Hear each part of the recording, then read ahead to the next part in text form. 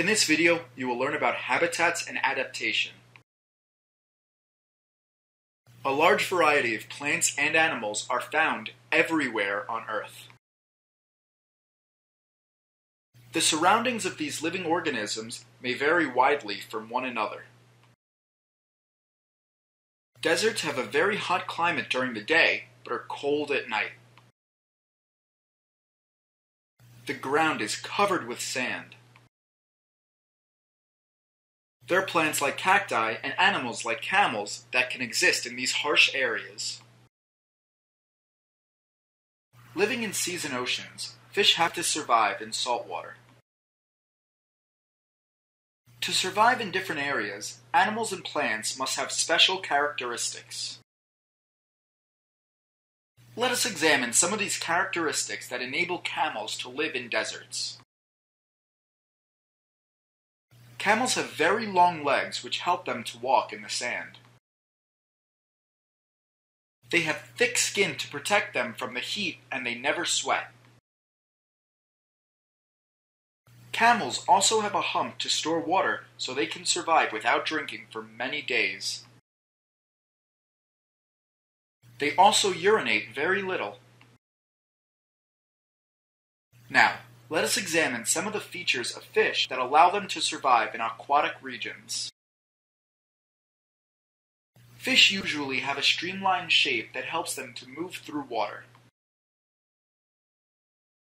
Their bodies are fully covered with scales. Gas exchange takes place through specialized organs called gills. Tails and fins are present to help fish change directions while swimming. All of these special features are present to allow them to survive in their surroundings.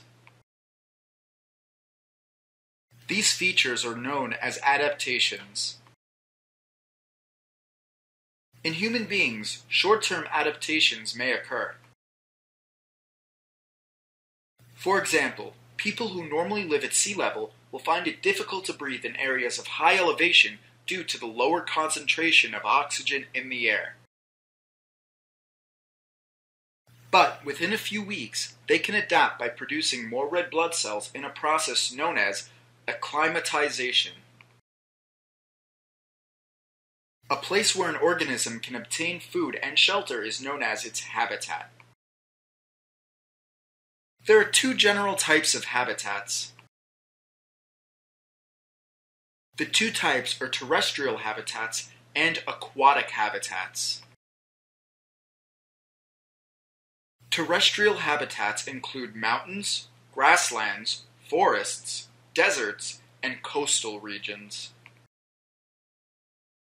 Aquatic habitats are ponds, lakes, swamps, rivers, and oceans. There are two important factors that contribute to living in a habitat. There are biotic factors and abiotic factors. Biotic factors are all the living things in the area, including the microorganisms, plants, and animals as well as all of their interactions with one another.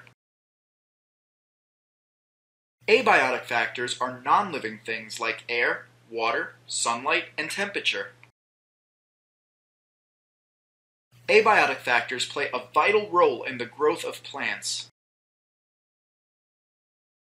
In this video, you have learned about habitats and adaptation.